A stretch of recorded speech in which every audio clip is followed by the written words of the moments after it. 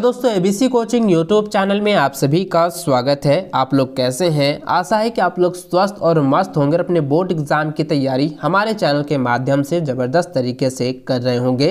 आज की इस वीडियो में क्लास एलेवेंथ कॉमर्स की सब्जेक्ट बिज़नेस स्टडी का most important VBI objective question बताने वाला हूँ, जो कि आपकी बोर्ड की परीक्षा में डायरेक्ट प्रश्न पूछे जाएँगे। तो सभी छात्र इस वीडियो को शुरू से लेकर अंत तक देखेंगे। और वीडियो अच्छी लगे तो वीडियो को लाइक शेयर करते हुए आप हमारे चैनल पर नए हैं तो आप सभी से रिक्वेस्ट है चैनल को सब्सक्राइब करने के साथ बेल आइकन को प्रेस ज़रूर कर लीजिएगा। तो चलिए दोस्तों क्वेश्चन की ओर चलते हैं। दोस्तों, आपको पता ही है समान निर्देश, इसको मैं छोड़ देता हूँ। चलिए मैं डायरेक्ट इसका जो है क्वेश्चन की ओर चलता हूँ। देखिए सबसे पहला सवाल आप यहाँ पर देख पा रहे हैं, यहाँ पे लिखा है, दिया है कि निम्नलिखित में से किसमें पूंजी की आवश्यकता नहीं होती? तो दोस्तों, आपको पता होगा कि रोज़गार में जो है, यानी कि एम्प्लॉयमेंट में जो है पूंजी की आवश्यकता नहीं होती है। तो ऑप्शन ए इसका सही आंसर होगा।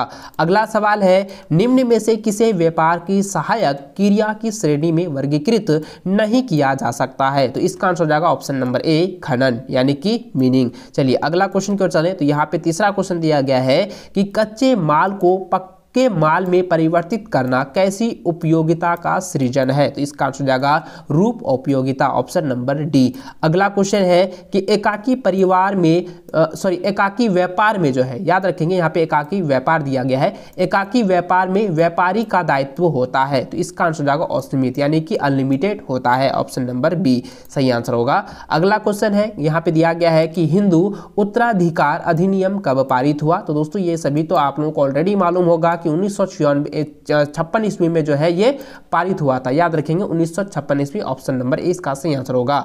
अगला सवाल दिया गया है कि एक फर्म में आ, साझेदारों का न्यूनतम संख्या होती है, यानी कि कितनी होती है? इसका आंसर यानी कि पार्टनरशिप जो है कितने होती है? तो ऑप्शन नंबर ए हो जाएगा, दो पार्टनरशिप होते हैं, ठीक है? याद रखेंगे। चलिए, अगला सवाल है कि सहकारी संगठन में सदस्यों की न्यूनतम संख्या होती है? तो सहकारी सदस्यों में जो है, संगठन में जो है सदस्यों की संख्या दस होती है, जो कि ऑप्शन नंबर बी इसका सही आंसर होगा। अगला सवाल है कि एक व्यवसाय को प्रारंभ करते समय कौन सा तत्व ध्यान में रखना चाहिए? तो दोस्तों, इसमें जो है, इसका सभी आंसर हो जाएगा। ऑप्शन नंबर डी आंसर होगा, क्योंकि दोस्तों, एक व्यापार, ठीक है, याद रखेंगे, एक व्यवसाय को, यानी कोई जो है, रोज़गार जो है, ओपन कर रहे हैं, बिज़नेस ओपन कर रहे हैं, उसमें जो है, मुख्य तत्व में से ये है कि व्यवसाय का कौन सा चयन, यानी कि व्यवसाय का चयन ये मुख्य है, व्यवसाय का पैमाना ये भी मुख्य है, और व्यवसाय का स्थान होना चाहिए, ये भी मुख्य है। इसलिए दोस्तों, इसका जो सही आंसर होगा, ये हो जाएगा ऑप्शन नंबर डी, इसका सही आंसर होगा। ठीक है, आठ का डी नंबर आंसर होगा। अगला क्वेश्चन नौ नंबर है, दिया है कि एक फर्म को रजिस्ट्रेशन का प्रमाण पत्र कौन जारी करता है? यानी कि किसी भी फर्म का जो है सर्टिफिकेट जो है कौन इशू करता है? तो दोस्तों, इसका आंसर जाएगा फर्मों का रजिस्ट्रार। ठीक है ऑप्शन नंबर सी इसका सही आंसर होगा। अगला क्वेश्चन है कि कंपनी के उद्देश्य किसके द्वारा निर्दिष्ट होते हैं? तो दोस्तों, इसका आंसर जाएगा ऑप्शन नंबर बी हो जाएगा। पार्षद सिमिना नियम। ठीक है ऑप्शन नंबर बी इसका सही आंसर होगा। अगला सवाल है ग्यारह नंबर। दिया है, निम्न में से कौन विदेशी बहुराष्ट्रीय कंपनी नहीं है? तो इसका आंसर जाएगा, महिंद्रा जो है ये विदेशी बहुराष्ट्रीय कंपनी में से एक नहीं है। ठीक है, ऑप्शन नंबर डी इसका आंसर होगा। बाकी जितने भी है, सभी जो है बहुराष्ट्रीय कंपनियाँ हैं और सिर्फ़ महिंद्रा जो है बहुराष्ट्रीय कंपनी नहीं है। इसलिए दोस्तों, इसका ऑप्शन जो है डी इसका सही आंसर होगा। अगला सवाल बारह नंबर दिया है, निम्न में से कौन सी व्यावसायिक सेवा नहीं है? तो दोस्तों, उत्पादन जो है एक व्यावसायिक संसाधन यानी कि व्यावसायिक नहीं है। ठीक है, व्यावसायिक सेवा नहीं है। चलिए, अगला सवाल तेरह नंबर दिया है, भारतीय रिज़र्व बैंक स्थापित हुआ तो भारतीय रिज़र्व बैंक जो है कब स्थापित हुआ है? उन्नीस सौ पैंतीस ईस्वी में। ऑप्शन नंबर सी इसका सही आंसर होगा। अगला सवाल चौदह नंबर दिया है कि सार्वजनिक उपकरण की स्थापना का मूलभूत उद्देश्य है तो इसका आंसर हो जाएगा ऑप्शन नंबर बी हो जाएगा, सेवा करना। ठीक है? ये इसको अच्छे से याद रखेंगे। प्रीवियस ईयर में भी ये क्वेश्चन पूछा गया था। ये रिपीटेड क्वेश्चन है। ये काफ़ी वीवीआई क्वेश्चन है। चलिए, अगला क्वेश्चन पंद्रह नंबर दिया है कि अग्नि बीमा पॉलिसी वर्ष के लिए ली जाती है। यानी कि अग्नि बीमा पॉलिसी जो है, कितने वर्ष के लिए जो है, की जाती है? तो इसका आंसर हो जाएगा दोस्तों, एक वर्ष के लिए, जो कि ऑप्शन नंबर ए में दिया हुआ है। ठीक है? चलिए, अगला सवाल यहाँ पे सोलह नंबर दिया है कि व्यवसाय के लिए लिए सबसे उपयुक्त खाता है। तो देखिए यहाँ पे चार गो जो ऑप्शन दिया गया है, इसमें से जो है ये होगा आंसर आपका ऑप्शन नंबर सी यानी कि चालू खाता, ठीक है? यानी कि व्यवसाय के लिए सबसे उपयुक्त खाता कौन सी होती है? वो होता है चालू खाता, यानी कि करंट अकाउंट होना चाहिए। ऑप्शन नंबर सी इसका सही आंसर होगा। अगला सवाल है कि स्थान उपयोगिता प्रदान की जाती है तो उसको कहते हैं परिवहन। ऑप्शन नंबर ए, इसका सही आंसर होगा, स्थान उपयोगिता प्रदान की जाती है किसके लिए? परिवहन के लिए, ठीक है, याद रखेंगे ऑप्शन नंबर ए। अगला सवाल 18 नंबर दिया गया है कि डैश के अनुसार दो या दो से अधिक व्यक्तियों के मध्य तथ्यों, विचारों, संपत्तियों का आदान प्रदान का संदेह, संदेश वाहन कहते हैं। तो उसको क्या कहते हैं? नेमुनेंट एवं समर कहते हैं। तो ऑप्शन नंबर ए इसका सही आंसर होगा। अगला सवाल है कि ई कॉमर्स ने व्यवसाय का क्षेत्र कर दिया है। तो इसका आंसर हो जाएगा अंतर्राष्ट्रीय। ऑप्शन नंबर सी इसका सही आंसर होगा। अगला सवाल है कि ई कॉमर्स का प्रदू प्रदूष भाव होते हैं तो इसका आंसर होगा, प्रदवास हुआ है तो इसका आंसर होगा उन्नीस सौ सत्तर ईस्वी, ठीक है ऑप्शन नंबर बीस का सही आंसर होगा।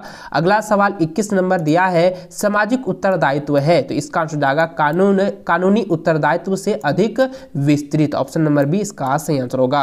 अगला सवाल है कि ऑटोमोबाइल द्वारा कार्बन मोनोऑक्साइड को छोड़ना प्रत्यक्ष रूप से सहयोग करता है, इसका आंसर जाएगा वायु प्रदूषण को, ठीक है, यानी कि वायु प्रदूषण को एयर पॉल्यूशन को जो है, ये प्रदर्शित यानी कि सहयोग करती है प्रत्यक्ष रूप से। तो ऑप्शन नंबर डी इसका सही आंसर होगा। अगला सवाल तेईस नंबर है। दिया है, अंशों की हस्तांतरणीय व्यवसाय संगठन के लिए किस प्रारूप की विशेषता है? तो इसका आंसर जाएगा दोस्तों कंपनी ऑप्शन नंबर ए अगला क्वेश्चन है, चौबीस नंबर दिया है, निम्नलिखित में से कौन सी संयुक्त पूंजी की सीमा नहीं है? तो इसका आंसर जाएगा ऑप्शन नंबर बी कम पूंजी, यानी कि लेस कैपिटल। ठीक है? चलिए, ऑप्शन नंबर बीस का सही आंसर होगा। अगला सवाल, पच्चीस नंबर दिया है कि कंपनी के अंशा, अंशधारी होते हैं। तो कंपनी के अंशधारी कौन होते हैं? वो होते हैं स्वामी, यानी कि ऑनर होते हैं। ठीक है? ऑप्शन नंबर ए इसका सही आंसर होगा। अगला सवाल है कि निम्न में से कौन दीर्घकालीन वित्त का स्रोत नहीं है? तो हुड्डियाँ जो है, ये दीर्घकालीन वित्त का स्रोत नहीं है। ऑप्शन नंबर सी इसका सही आंसर होगा।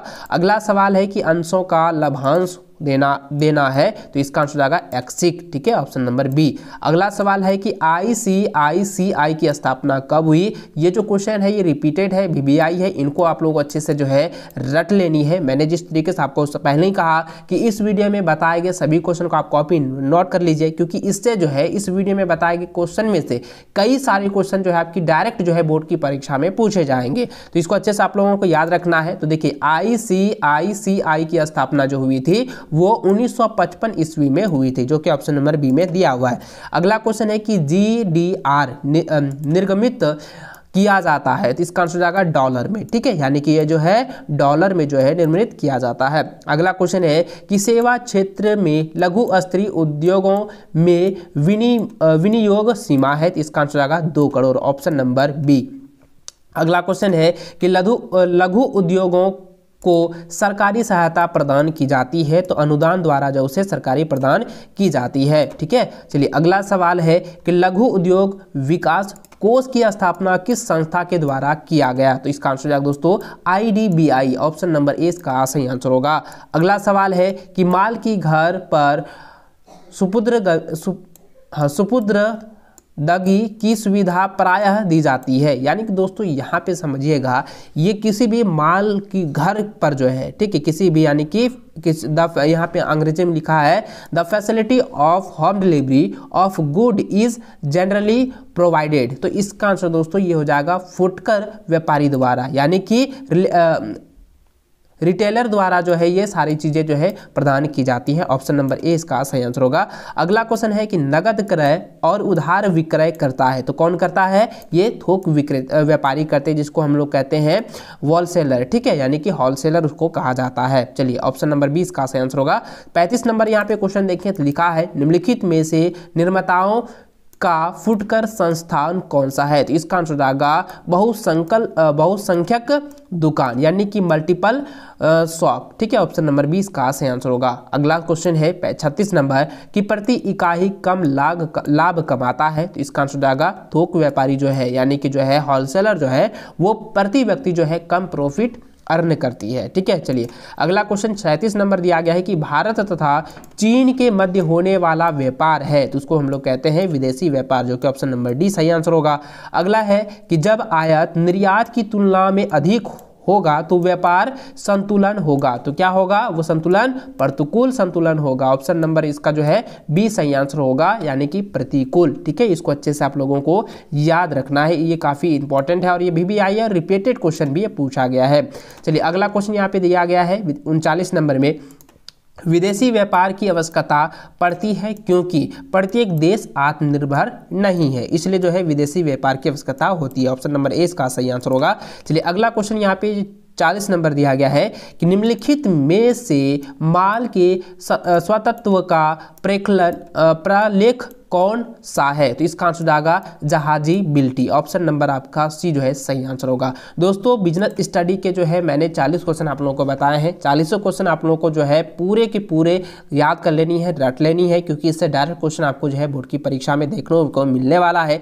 इसलिए दोस्तों, आप इसको अच्छे से जो है रिपीटेड कर लीजिएगा रिविजन कर लीजिएगा। तो चलिए दोस्तों, इस वीडियो में बस इतना ही। वीडियो अच्छी लगे तो वीडियो को लाइक शेयर करते हुए चैनल पर नए हैं तो चैनल को सब्सक्राइब कर बेलाकन को प्रेस ज़रूर कर लीजिए, ताकि लेटेस्ट वीडियो नोटिफिकेशन जो है आप सबों को मिल